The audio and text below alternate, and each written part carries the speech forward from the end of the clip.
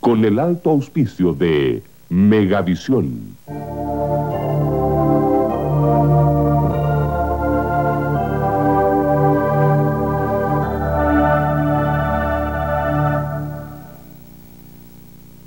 Presenta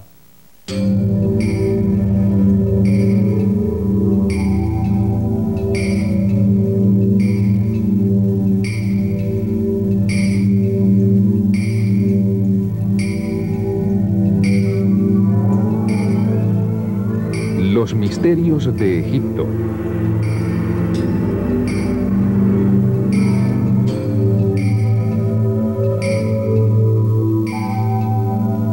Todo Egipto está dominado por un equilibrio cromático de constantes e incansables tonos ocres y sienas que contrastan con el profundo azul de su cielo. Transmite un halo de misterios latentes de cultos ignorados, de ceremonias reservadas y de lugares ignotos y maravillosos.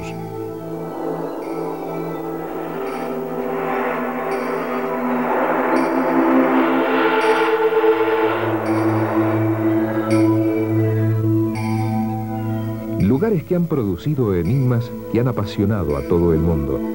Obras incomprensibles e imposibles, ritos fantásticos, maldiciones y muertes inexplicables.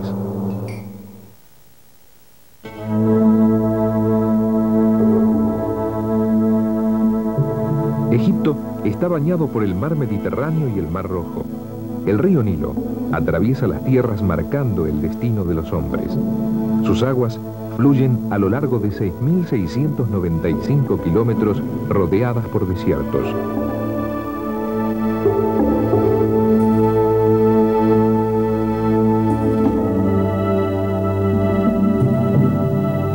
Herodoto escribió, Egipto es el regalo del Nilo. Los egipcios tenían tres estaciones en torno a las que giraban sus vidas.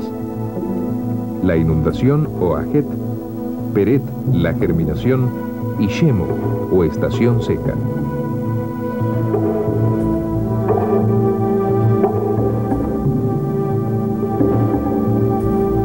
Estaba dividido en el Alto y el Bajo Egipto, que fueron unificados hacia el 2800 a.C., dando lugar al primer reino de la historia. Este periodo, conocido como Tinita, fue el origen de la primera dinastía, personalizada en Menes, que como rey adquirió el rango de Dios.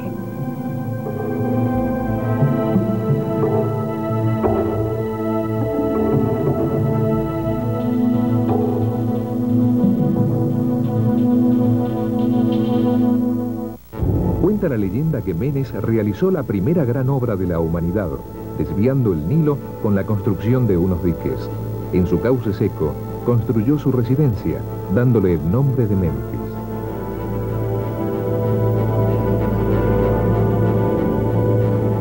La magia estaba considerada como una ciencia legítima, igualándose en importancia a la ingeniería y las matemáticas.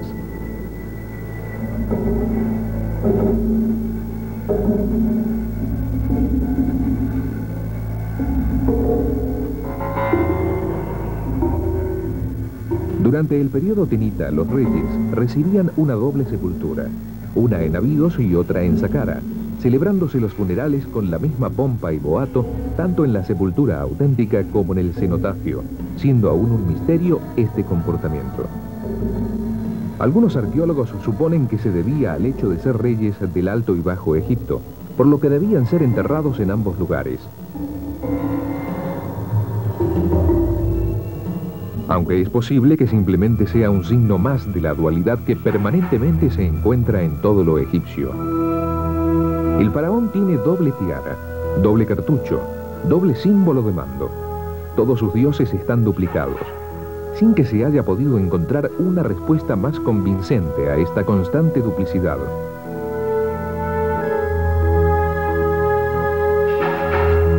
Con el tiempo, los reyes buscaron la inmortalidad. Convencidos de su divinidad, consideraron que no podían desprenderse de sus cuerpos y que los necesitarían en un futuro próximo. Ante el convencimiento de que tenían que preservarlos, encargaron a los sacerdotes la creación y supervisión de la Casa de la Muerte. En ella se prepararía a los reyes tras su fallecimiento, para que sus cuerpos se conservasen eternamente, ya que si éste se destruía, Ra no podría llevarlo como pasajero en su viaje y su Ka, o esencia espiritual, vagaría eternamente perdida. Esta casa de la muerte estaba también organizada jerárquicamente, estando en la escala más baja los embalsamadores, que por su contacto constante con los muertos eran rechazados por el resto de la sociedad y que en su mayoría eran criminales condenados a perpetuidad. Los maestros estaban muy considerados y eran verdaderamente hábiles en su oficio. Con una complicada técnica disolvían y extraían el cerebro a través de unos orificios practicados en el tabique nasal. Sin embargo, no se tocaban su corazón ni sus riñones. Su interior se regaba con vino de palmera y sustancias aromáticas, como la pimienta negra, bálsamos como mirra triturada y ungüentos. Durante 60 días se les mantenía en sal y después eran envueltos con finos vendajes. Pocos pueblos momificaron a sus muertos, entre ellos los guanches, de los que también hay pruebas de que erigieron pirámides escalonadas. ¿Existió alguna relación entre ellos? ¿Descenderían los habitantes de las Islas Canarias de los egipcios? Es otro misterio que quizá algún día logremos desentrañar.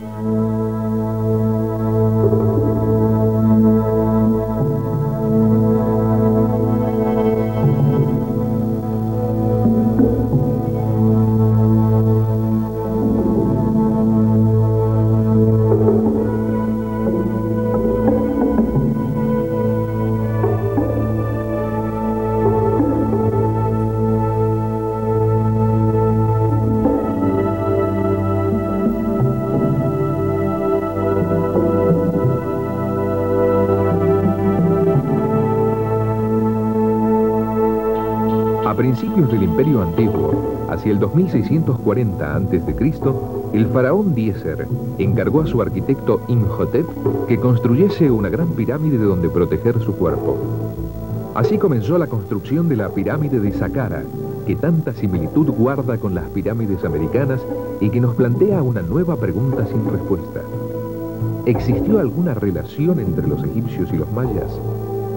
Imhotep realizó para su señor una obra maestra, utilizando la piedra y buscando la perdurabilidad creando una nueva visión de la arquitectura. Estructuras ficticias, puertas dibujadas y el sepulcro colocado en el fondo de un profundo e inaccesible pozo. Creó también el Serdab, una cámara pétrea que contenía una estatua del faraón. Frente a ella se practicaron dos agujeros a la altura de los ojos para que pudiera seguir contemplando el mundo. Realizó cámaras mortuorias que acogiesen a todos sus familiares y sirvientes. Antes de terminar la obra, diez parientes del faraón ocupaban sus lugares. Con los egipcios nació la escritura ideográfica que más tarde recibirá el nombre de jeroglífica. Etimológicamente, este nombre proviene del griego hieros, sagrado, y glifo, signo, derivó a nivel popular en la escritura demótica, como este manuscrito encontrado junto a una momia. La mitología popular otorgaba su creación al dios Tot, el dios lunar, gran mago y señor de las palabras sagradas. Un joven francés parecía predestinado a conseguir descifrar el gran enigma de la escritura egipcia. Jean-François Champollion, a los 11 años, hablaba latín y griego y podía leer la Biblia en su texto arameo. La primera vez que tuvo ante sí un jeroglífico, estuvo seguro que no tardaría más de dos años en poder leerlos.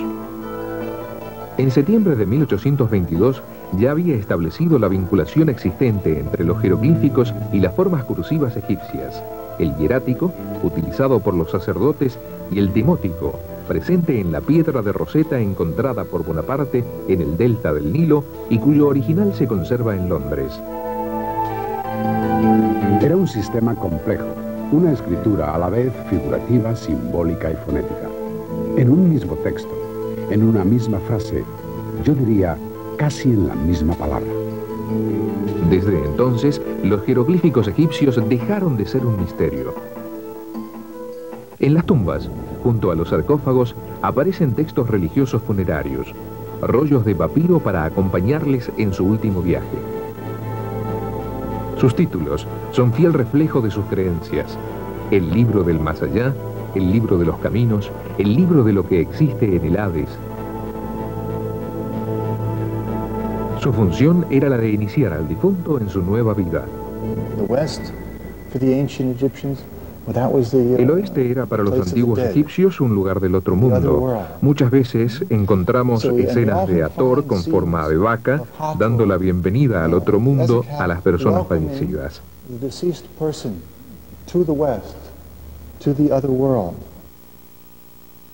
Hator, nebet yementet, yimiet weret, nebet ta jesret, yiret rei, yimiet hatef. Nefret Her, Hathor, mistress of the West. Hathor, dueña del oeste, que vives en el gran lugar que es la tierra de los muertos. El segundo rey de la cuarta dinastía fue Keops, que decidió levantar una pirámide que sobrepasase en magnificencia a toda construcción que el hombre hubiese llevado a cabo y que perdurase a través de los siglos. Es tal su grandeza que Erich von Daniken afirmó que la construcción de una obra tan grandiosa era un misterio que los egipcios, con sus pobres elementos de arquitectura, solo pudieron realizarla con ayuda de seres extraterrestres. La pirámide de Keops tiene 146 metros de altura y 232 de lado. Como un pueblo que no conocía la rueda, que no poseía grúas ni otros recursos mecánicos, pudo llevar a cabo semejante obra. Los bloques están cortados con tal precisión que la luz de las junturas no excede de medio milímetro. El egiptólogo argentino Claudio Neumann asegura que se construyó utilizando rampas escalonadas de no más de 50 metros, poleas de madera de cedro libanés y sogas y palancas. Los egipcios subían diariamente 800 bloques de 72 toneladas mediante juegos de doble palanca. Pero el misterio preside como siempre todas las obras egipcias. Para su construcción intervienen la sección áurea, el triángulo sagrado y el cuadrado mágico y mediciones basadas en números sagrados. Ni su orientación ni ninguna dirección o dimensión son fruto del azar. El prestigioso egiptólogo Sir Flanders Petrie estudió muy detenidamente los procesos de construcción. Uno de los elementos que más llamó su atención fueron los trépanos egipcios. Se analizaron las posibilidades de los antiguos taladros con que se habían practicado los agujeros existentes en los bloques, llegando a la conclusión de que únicamente era posible realizarlos trabajando con presiones de 2.000 kilos, lo que dista mucho de las posibilidades de nuestras máquinas actuales. En sus estudios se pregunta también ¿Con qué tecnología desconocida consiguieron la perfección del revestimiento calcáreo? Sus análisis de los bloques calizos que aún no han desaparecido cumplen un paralelismo de 0,05 milímetros, alcanzando una perfección muy difícil de explicar. La pirámide se orienta de norte a sur y su intersección determina los cuatro puntos cardinales. Con un rodillo cuyo diámetro era el codo egipcio, se aplicó 141 veces en cada lado, obteniendo un cuadrado perfecto de 232 metros de lado. Si lo multiplicamos por el doble del codo egipcio, obtenemos su altura, 146 metros. Dividiendo la longitud del perímetro de la base por el doble de su altura, se obtiene el número pi. El corredor de entrada se orientó hacia el norte, marcado por la estrella del dragón, que utilizaban a semejanza de la estrella polar. Todo en su interior es de una gran sobriedad. La cámara sepulcral carece de ornamentos y grabados. En ella se encuentra el sepulcro de Keops, pero su cuerpo nunca fue hallado. Unos conductos de aireación estaban orientados hacia la estrella Sirius, de gran importancia para los egipcios, sirviendo también de ligera iluminación nocturna.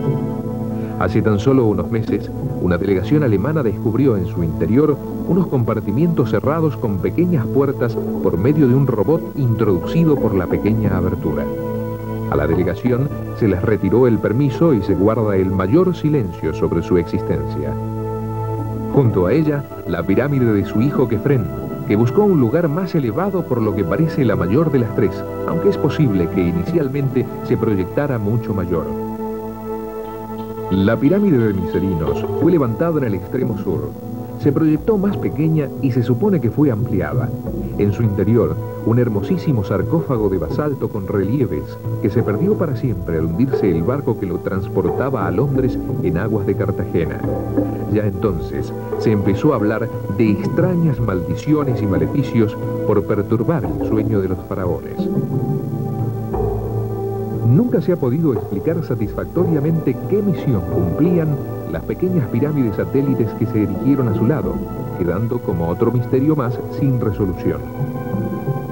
Presidiéndolas, como un dios de grandiosa majestuosidad, la Esfinge, con su cabeza y pecho humanos, tocado con los símbolos del faraón y su cuerpo y pies de león. Y sobre ella, otro gran misterio. Hasta ahora, los egiptólogos afirmaban que tenía una antigüedad de 4.500 años. Sin embargo, Recientes estudios realizados por un equipo de arqueólogos egipcios y americanos han desvelado que tiene más de 10.000 años. Por otro lado, un equipo japonés de la Universidad de Waseda ha afirmado que en su interior existe una cámara que contiene objetos de metal.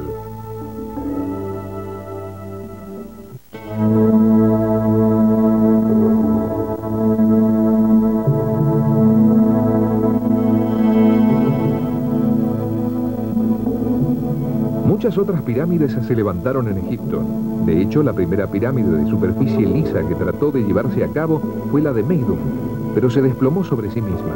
Y muchos otros diseños quedaron truncados para siempre. La creencia de que en la próxima vida podrían seguir disfrutando de sus bienes llevó a los egipcios a la inclusión en sus tumbas de joyas, comida y tesoros que despertaron la ambición de quienes no estaban dispuestos a permitir que estas riquezas permanecieran perdidas en la soledad y el silencio. Las tumbas sufrieron constantes saqueos a lo largo de los tiempos. Por ello, se escribían textos execratorios y maldiciones donde se avisaba de los terribles castigos a que serían sometidos los violadores. La cobra que está sobre mi cabeza se vengará con llamas de fuego a quien perturbe mi cuerpo. El intruso será atacado por bestias salvajes. Su cuerpo nunca será enterrado y sus huesos serán lavados por la lluvia. Esta maldición aparecía sobre el sarcófago del sumo sacerdote Capá Amón, descubierto en 1879. Pese a todo, las tumbas fueron profanadas y robadas a lo largo de la historia, en muchas ocasiones por los propios funcionarios que preparaban el despojo antes de que se sellaran las tumbas. En 1985 se encontró el sarcófago del primer ministro de Ramsés II. Cuando se levantó la tapa que pesaba 7 toneladas, encontraron el agujero que habían practicado los ladrones para vaciar su contenido. El califa Al-Mamun ordenó una excavación en la fachada norte de la gran pirámide de Keops, encontrando tan solo algunas joyas.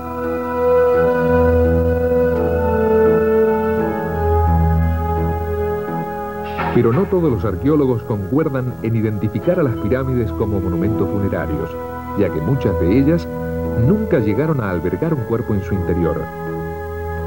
Algunos han supuesto que fuesen grandes graneros, refugios en momentos de emergencia o que se construyeron con fines astronómicos o religiosos.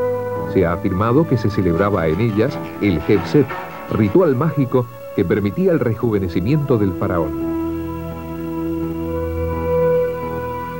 Hay quienes consideran la existencia de misteriosas predicciones que permiten calcular el perímetro y peso específico de la Tierra o la duración de las órbitas de los planetas.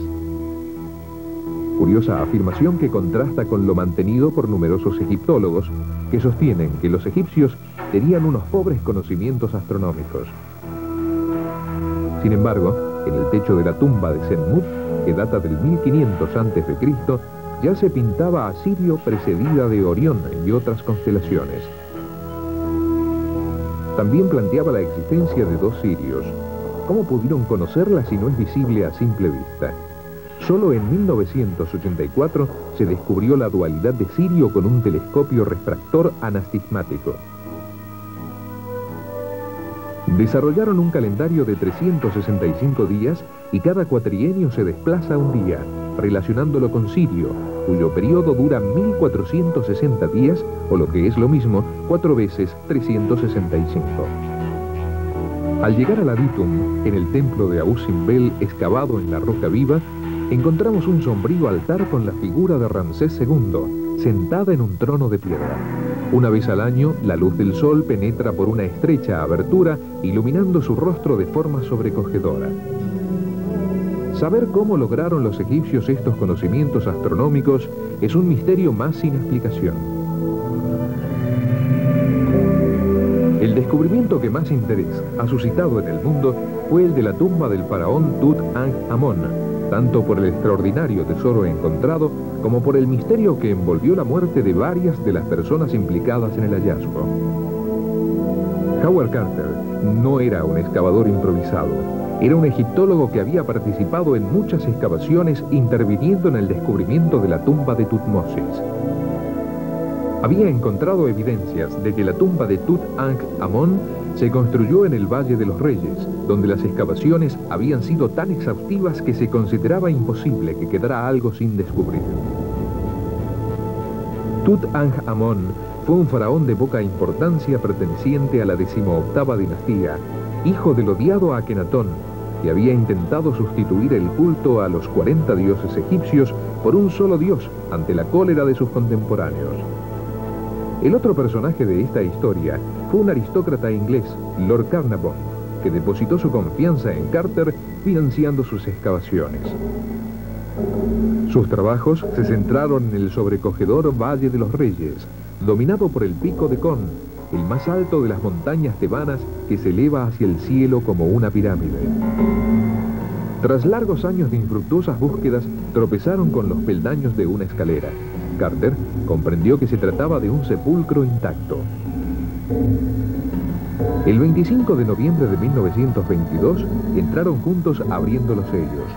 La tumba tenía cuatro habitaciones, una gran antecámara, una pequeña sala, la cámara mortuoria y la sala del tesoro.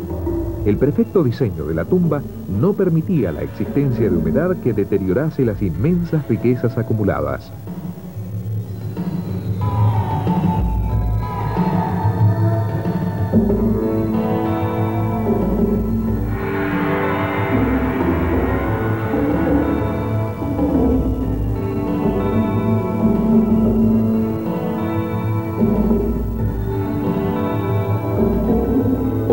Una belleza inimaginable como la máscara funeraria de oro macizo, con incrustaciones de obsidiana y lapislázuli, paneles con incrustaciones de oro.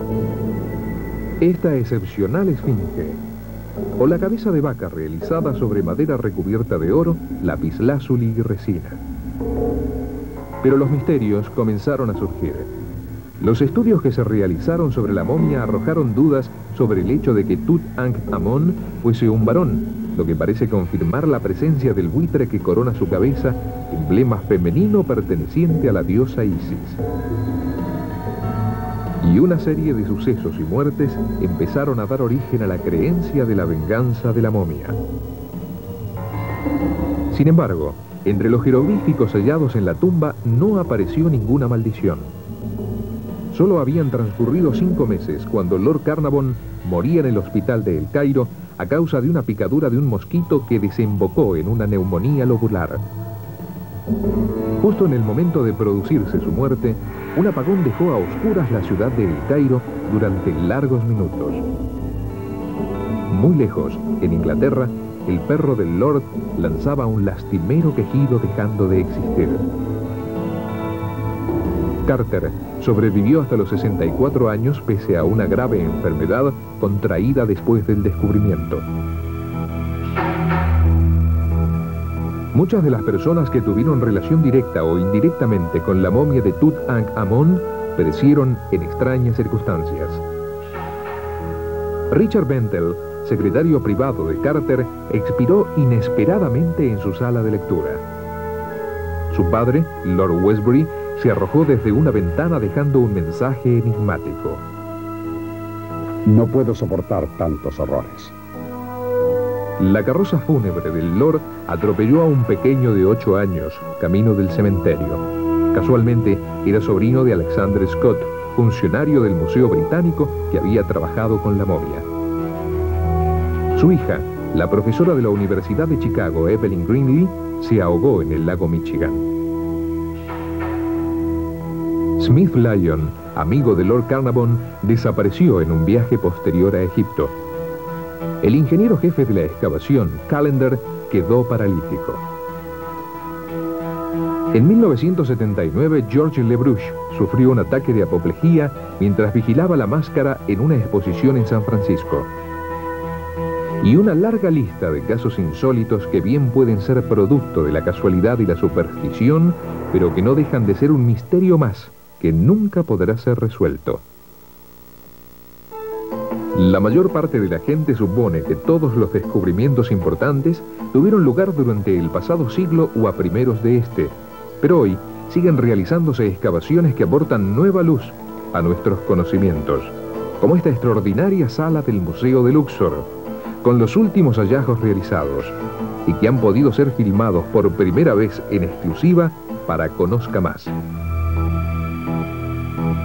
La noche cae sobre Egipto cubriéndolo de una espesa oscuridad. Todo en Egipto es un misterio que quizá algún día logremos desentrañar.